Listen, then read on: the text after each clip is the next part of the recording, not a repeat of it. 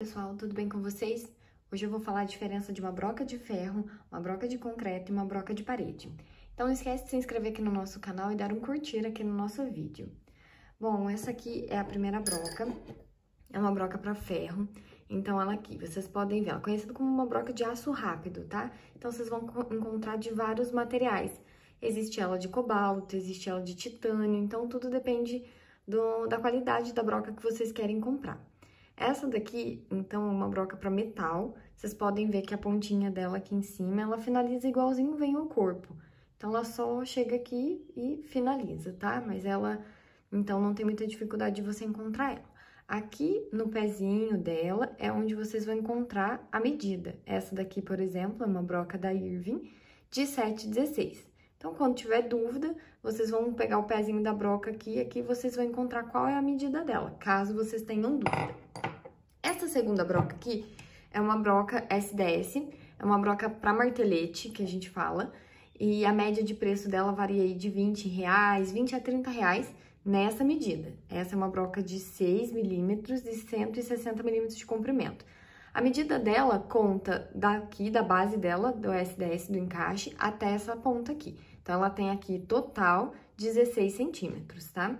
Então, você nunca vai comprar uma broca e fazer a medição dela dessa ponta até a ponta dela aqui final.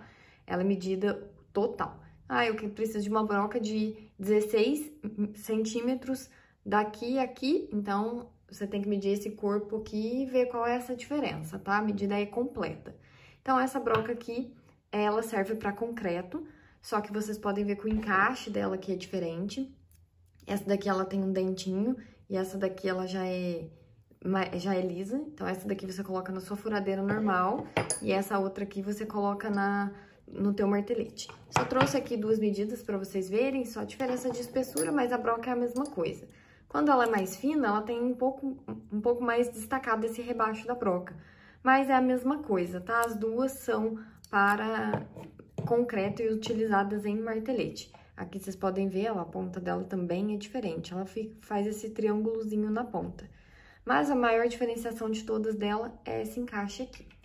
Já a broca para a parede, que é o que vocês vão sempre, estão sempre pedindo aqui pra gente, essa daqui é a broca conhecida como broca de vídeo. Então, dá pra ver aqui que ela é bem diferente a ponta, ela tem essas duas pontinhas aqui na lateral.